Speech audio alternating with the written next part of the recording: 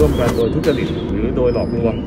นำเข้าสู่ระบบคอมพิวเตอร์ ซึ่งข้อมูลคอมพิวเตอร์ซึ่งเป็นข้อมูลอันเป็นเท็จเวลาคุณแจ้งข้อกล่าวหาเนี่ยคุณเหลียวหลังไปมองหน่อยได้ไหมครับว่าไอ้มาตรา 157 กับมาตรา 200 เนี่ย มันวิ่งตามคุณมาหรือเปล่าได้ครับ อย่างนี้ครับอย่างนี้นะครับมันมีหมายค้นจากสารอาญานะครับครับสารอาญากรุงเทพนะครับ ให้ท่านพลตรีไพโรจน์กุจิรพันธ์นะครับผู้ครัว่าบการกองกองอุทธรณ์นะคครัรับบ และให้ผมพันตำรวจเอกภาคภูมิพิสมัยรองผู้ว่าการสืบสวนครับตำรวจภูธรภาคสี่นะครับครับ เข้ามาตรวจค้นบ้านเลขที่ 103ทับ13หมู่2ครับหนึ่งร้อยห้าสิบสามครับนะครับอำเภอปากเกร็ดจังหวัดนนทบุรีตรงบ้านเลขที่นี้ครับนะครับ คุณแทมเป็นเป็นเจ้าของนะ ใช่ครับ หมายค้นก็เพื่อนะครับ เพื่อพบนายพัชระเนศิยาพรครับนะครับอ่าบุคผมคลมาแล้วที่ถูกออกหมายจับตามหมายจับเลขที่ 655ทับ2565 ลงวันที่ 5 เมษายนครับ65 ซึ่งออกโดยสารอาญากรุงเทพนะครับ นะครับอันนี้เป็นหมายค้นนะครับครับเข้าค้นเพื่อจับบุคคลตามหมายจับนี่คผรัมบเจอตัวคนทำแล้วนะครับครับ เดี๋ยวผมขออนุญาตแสดงหมายจับนะครับครับ อันนี้เดี๋ยวรอรอทนายแป๊บหนึ่งได้ไหมครับได้ไม่เป็นไรงั้นจริงๆท่านเข้ามานั่งข้างในก่อน เดี๋ยวผมจะเดี๋ยวผมทำตามกระบวนการก่อนครับ นะครับเป็นหมายจับของศาลอาญานะครับ เอกพลพลพลตำรวจตรีข้อกล่าวหาเรื่องอะไรครับธีท่านพันธ์นะครับ เป็นผู้ร้องนะครับครับหมายให้ดำเนินการจับกลุ่มตัวนายพัชระเมจิยาพรก็คือเราครับนะครับ โดยข้อหาร่วมกันโดยทุจริต หรือโดยหลอกลวงนำเข้าสู่ระบบคอมพิวเตอร์ ซึ่งข้อมูลคอมพิวเตอร์ ซึ่งเป็นข้อมูลอันเป็นเท็จครับโดยประการที่น่าจะเกิดความเสียหายแก่ประชาชนอือฮึร่วมการประกอบธุรกิจตลาดแบบตรงโดยไม่รับอนุญาตนะครับโดยโดยไม่ได้จดทะเบียนนะครับ การประกอบธุรกิจตลาดแบบตรงครับนะร่วมกันโฆษณาโดยใช้ข้อความอันเป็นเท็จ หรือเกินความจริงที่เป็นการไม่เป็นธรรมต่อผู้บริโภค และร่วมกันเสนอขายสลากกินแบ่งรัฐบาล และยังไม่ได้ออกและยังไม่ได้ออกรางวัลเกินราคาที่กฎหมายกำหนดนะคครัรับ บ ก็อ่าปรากฏตามนี้นะครับ ตามเอกสารนะครับนี่คุณคุณพัชพัชพัชระนะครับครับคุณพัชระยังไม่เคยถูกจับมาก่อนใช่ไหมคครัรับบ เป็นบุคคลที่ปรากฏตามหมายจับนี้นะคครัรับบ เดี๋ยวผมขออนุญาตให้เซ็นรับทราบหลังหมายนะครับ โอเค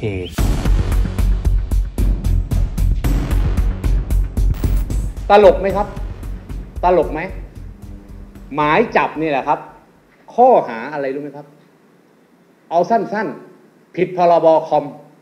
นำข้อมูลอันเป็นเท็จเข้าสู่ระบบคอมพิวเตอร์ ส่วนข้อหาอื่น ๆ เนี่ย มันหน่อมแนมมาก ข้อหานี้ออกหมายจับ ทีแรกผมเข้าใจนะ ว่าเป็นข้อหาช่อโกงประชาชน โอ้โหอย่างเนี้ยเหนื่อย เหนื่อย แต่นี่ข้อหา นำข้อมูลอันเป็นเท็จเข้าสู่ระบบคอมพิวเตอร์ ผมว่าผู้สื่อข่าวและประชาชนทั้งประเทศเนี่ย คงจะหัวเราะกลิ้งเลย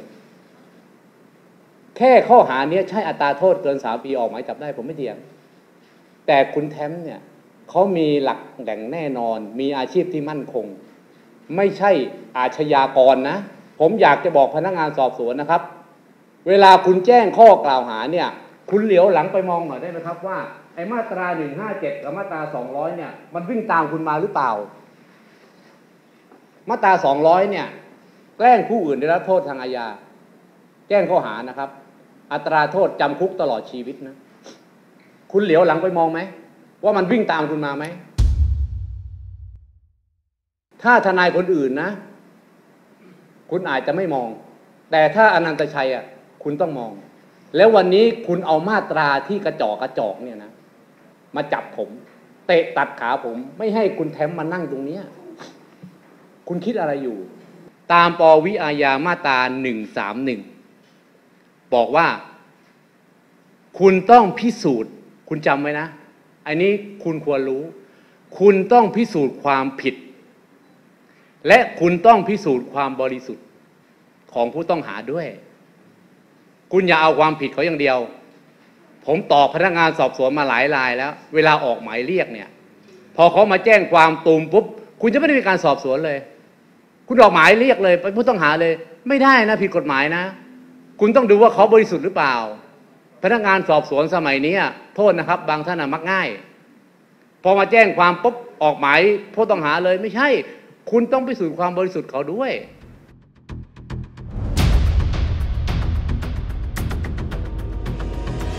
เขาเรียกว่าเขาก็มีข้อเขาเรียกว่าข้อกล่าวหาข้อกล่าวหา นะครับผมก็บอกว่าผมปฏิเสธก่อนวันนี้แล้วเดี๋ยวผมเอาข้อมูลน่ะมาชนกันเพราะว่า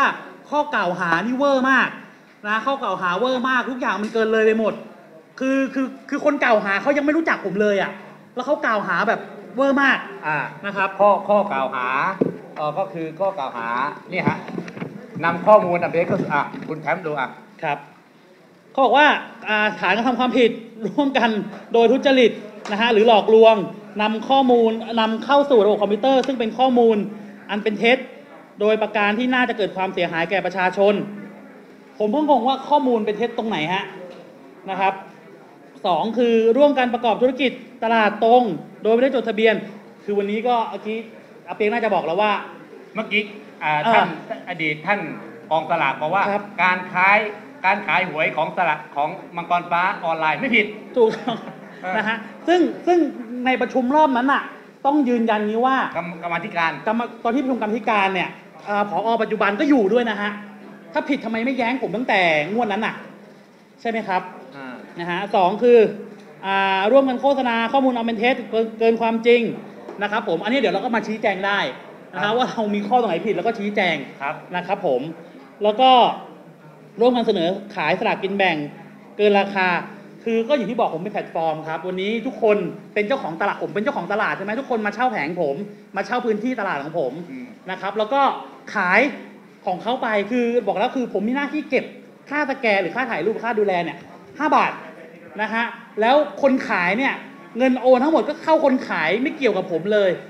นะครับผมเงินทุกบาทที่ขายสลากได้เนี่ยมันอยู่ที่คนขายไม่เกี่ยวกับผม ของผมก็คือมีรับแค่ค่าสแกนอย่างเดียวนะครับผมอืม นะฮะก็ยืนยันแค่นี้คือผมยืนยันมาตลอดสื่อทุกสื่อมาหาผม ก็ยืนยันอย่างนี้มาตลอด พูดอย่างนี้มาตลอดนะครับ แล้วก็เลยไม่รู้ว่าวันนี้มันมันมันเป็นประเด็นอะไรขนาดนี้นะฮะ